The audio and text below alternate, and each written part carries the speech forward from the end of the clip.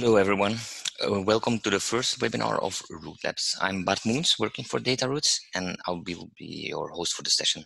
And normally, Root Labs organizes in-person events with a different speaker around artificial intelligence topics. But as we are faced with the COVID-19 lockdown, we are planning to organize some lunch, short lunch sessions around artificial intelligence topics uh, during this uh, period of lockdown.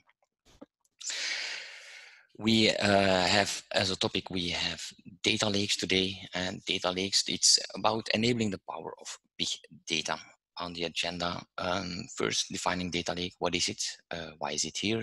The benefits of data lake and some industry examples. I also want to point out that on Thursday we have a follow-up session on data lake uh, uh, webinar, and it's actually a customer use case that we'll be presenting on Thursday. Defining the data lake will um, some historical fact the term data lake uh, is nearly celebrating its 10th anniversary. So James Dixon um, first mentioned data lake uh, almost 10 years ago, and it was in a comparison with uh, a bottle of water where he pointed out that a data mart is more bottle of water. It's pre-produced, it's produced according to a predefined requirements of a user, and it's also suited for one person or a group of person. And he compared it to a data lake where you have a pool of water, a pool of data, and actually you would bring a drinking bottle to the lake and you just take what you need and you can come back as many times as you want to the data lake. So the bottle of water, the bottle of water, is it not working anymore or are we changing it to a data lake? And actually it's, it's, it's a very user-friendly approach. And we have uh, an end user who receives his bottle of water, it's according to his pre-requirements and it's ready for consumption. So uh, very user friendly, but it's we are facing a different context at the moment. And this context is the context of big data. So uh, traditionally, we would have applications and it's structured data source, and we extract some of the data around customer services, products. We create a subset of this data, and we create and for marketing a bottle of water. We create for sales a bottle of water for HR, for others, and these would have the the the data and the insights they want to have from these numbers for them uh, particular now, the context has kind of changed where that we are having a, for e-commerce, for example, there is a, an explosion of data going on um, at the moment.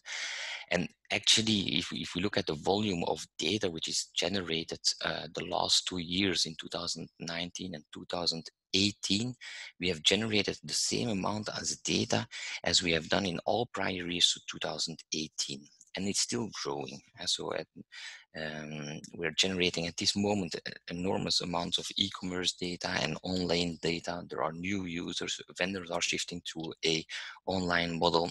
So the volume of data is, is increasingly tremendously, but also velocity, and so the speed of data. Um, keeping it in an e-commerce marketing uh, context, you want to have uh, promotions at the right time uh, at a checkout. You want to have these real-time analytics performed and which is not traditionally it's not possible in a traditional way of, of working uh, so in, in the traditional of working where we have this extract and transform we don't have actually we don't have time to do real-time analytics if we still need to transform and load this data create subsets and then provide this bottle of water and a term, a third um, term is the variety. We often describe big data with three V's, uh, being volume, velocity, and variety. And the variety is, is, is, is, relating to different kinds of data sources. And we have the structured data source we have traditionally in applications, but we also have unstructured data. And unstructured data is, is, is increasingly, yeah, I'm, I'm referring to reviews of your products, posts on social media, about, but also pictures, uh, video, images. So there is a much more variety of data that you want to analyze. And data lake is a kind of the en enabler of this big data. Yeah? So a data lake uh, in terms of, of, volume, and we have the data lake, which often we are building, we are referring to a public cloud provider to, to, to build these, and it, these solutions in terms of, of volume are massively scalable. Uh, but also in, in the flexibility of data. If, if you have new data coming in, you want to have this data as soon as possible available uh, in terms of real-time analytics, you want to have ingestion methods that can deal with real-time data, with, with streaming data. And also on variety, you want to have a solution which is built to deal with all different kinds of uh, data sources.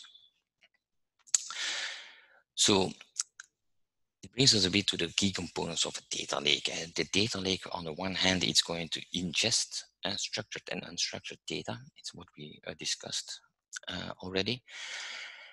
Very importantly, we need to know what is in the data lake. Uh, so we need to know what is the data we put in. So we come to data catalog. We want to we want to have some uh, data describing our data in the data lake, but also we want to create a indexes and a common data model so we can join, for example, our customer over different data sources. And next to uh, having this common data model, we want to also make it secure. And so it's very important that we have uh, security on this data, authentication, authorizations, which are the people that consume, and which leads us to the fourth point of our data lake, which is the consumption of this data. We want to make this data and um, consumable by different kind of users. So on the one hand, you would have data scientists which are creating machine learning models or predictive modeling, but also you will have business users creating actionable insights of this data. So um, in terms of visualizing a data lake, it would kind of high level uh, look like that. So um, most likely I will scare some people and, and then there are some on the people I've scared, you can keep your eyes on the left side of the screen where there's less uh, scary pictures. But what I want to point out is that we have these different data sources. We have the data lake where we ingest this data and this data is ingested. We have two streams. One is the batch stream, and which are uh, more the traditional way of storing, but also real-time processing. And this data is stored in a raw data store format. It means that this one is a one-to-one -one with the data source. You just extract and load, and which makes it much more quickly than when you have a transform of your data process. You just extract and load the data in a uh, first staging raw data store. You would have the two streams and the batch processing stream and the real-time processing uh, stream to come to this process data store. So who's consuming this data? Uh, here we have an AI platform, for example, for data science business users are creating insights and they will consume the data. So they can actually consume the raw data, which is in there very, very quickly. And in terms of, of, of a solution, you're, you're, you're adding new parameters to your data. It's a matter of hours before it's in your raw data store and it's consumable and, and ready to build solutions uh, solutions that you can store in your process data store, but actually also we can have integrations directly to by backend solutions. For example, uh, in, in, if you're calculating a churn probability, you want to have this churn probability integrated into, into your CRM system, and you want to have an after-sales person that can take an appropriate action uh, on this particular customer. Now, is the, is the bottle of water gone? No, it's still the combination of your data lake with a bottle of water being the data mart you have. And the results of, of, of your uh, AI solutions or your machine learning, which are stored in the process data store, can actually go back to this um, organized enterprise data warehouses data mart, where it's also um, available to uh, be included in a presentation layer or directly. So what are the benefits of a data lake? The benefits of the data lake, it's uh, on the one hand, it's agility. Uh, agility, you take what you need, you want some more data, you, you refer back to your data lake, you, you join data, you create uh, your, in, your own uh, small pool of data. In terms of scalability, uh, uh, we have this variety of data sources we can have storage availabilities for all kind of um, um, data sources, structured, unstructured, video, pictures, um, and, and, and, other data sources. And then we come to this centralized data and uh, democratized data. The data we, we store in our data lake, we actually, we make it consumable. And we make it consumable for uh, all different users and on the one hand and the data scientists but also business users or analysts that can work with this data the data like i said is governed and there's we, we will apply a common data model to our data common data model which is built around uh, the, the, the main uh, drivers of your business, uh, customers, your products, your services, and this makes the data joinable so the schema flexibility again goes to the variety of your data sources. And you don't need a schema upfront. You don't need to know the solution up upfront. Actually, in a data lake, you're actually uh, exploring uh, more the solution or doing research um, in, in, in these uh, data, uh, in, in the data lake itself. Um, yeah, the time to value is also related to the agility and, and, and the way of working. So uh, it's it's much more uh, time to value. Right? If you want to add data, it's it's easily added in the data lake, and it's it, it's easy consumable by these end users, which makes that they um, reach a higher user productivity. So to end up some industry examples, so who's using data lakes? Um, an example is smart manufacturing. And so new uh, production machines, they come in with uh, 100 uh, built-in sensors, uh, sensors that are giving values every milliseconds. if you do vibration analysis, you, you would have uh, every milliseconds you will receive some values in a production environment where you have 100 machines in in terms of volume you're yeah, yeah it's it's becoming big data very very quickly. Um, and it, I've added the uh, reference architecture here again, and just to point out that what is different than with the, the overall uh, reference architecture, it, it's the data sources. The data sources in, in smart manufacturing are different. We, uh, we use ERP systems, MES, we have maintenance instructions, uh, unstructured data sources. We use computer, we use machine vision uh, video images, we use sensor data, maybe transport. But the data lake itself or the, or, the, or the way it's structured, it stays the same. And so we have our ingestion methods, uh, ERP, it will use batch processing, machine vision, sensor data, we will use the real-time processing stream. We have our raw data source with a reference to our data, um, the, the actual data in the data store. And then you have the, the, the the uh, people that are consuming this data and they will build solutions around predictive maintenance, uh, warehouse optimizations or, or, other things and they, they create integrations to the backend systems. But actually the, the data lake network uh, itself, it stays the same. So if we have uh, marketing data or HR data coming in, it's consumable by other people in the organization and they will build all the other solutions, but the data lake remains the same. So another example, which is uh, where we are using data lakes, is, is, is personalized marketing, and with, with digitalization and the e-commerce uh, explosion, the physical uh, customer is, is becoming more a digital customer. And then how do you know this digital customer? How can you know things about it? It's about gathering data.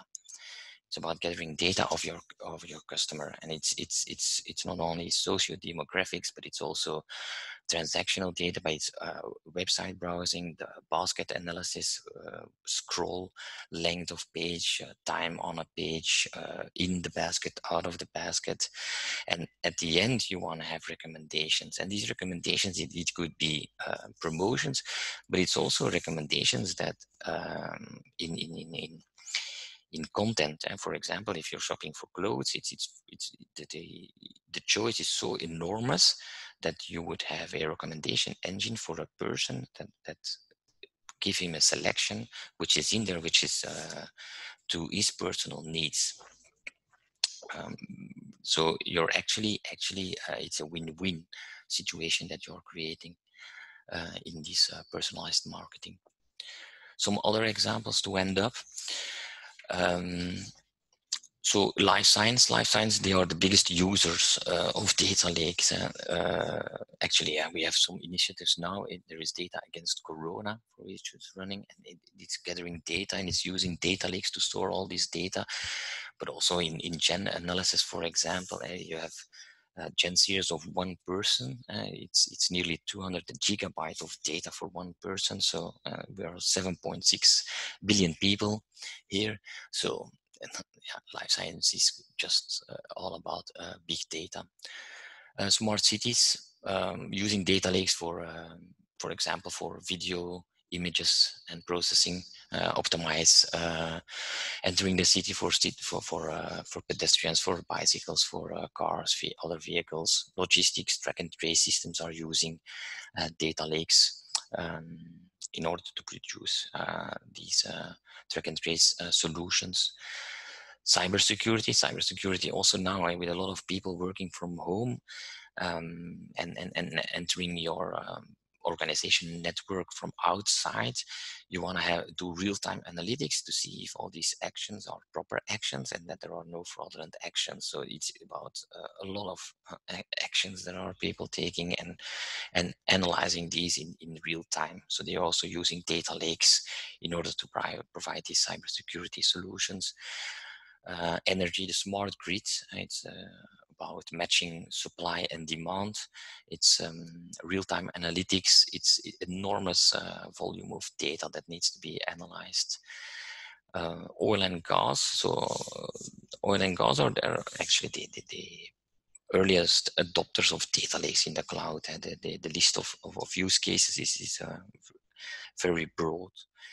Um, it, actually they, they use the drilling information, for example, is analyzed and so they can um, do horizontal drilling instead of vertical drilling, which is very, very more cost effective. And so I think all uh, companies in drilling, they are producing uh, terabytes of uh, sensor data uh, per day.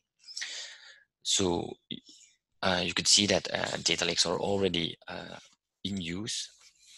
Um, that's the end of the webinar on the data lake introduction. So uh, I want to invite you to uh, join us on Thursday again, and then we'll have the uh, customer case. Actually, we will discuss the VRT, which is the Flemish uh, broadcasting company, and how they are using a uh, data lake in order to provide solutions to uh, their end customers. So thank you for joining, and I hope to see you on, on Thursday.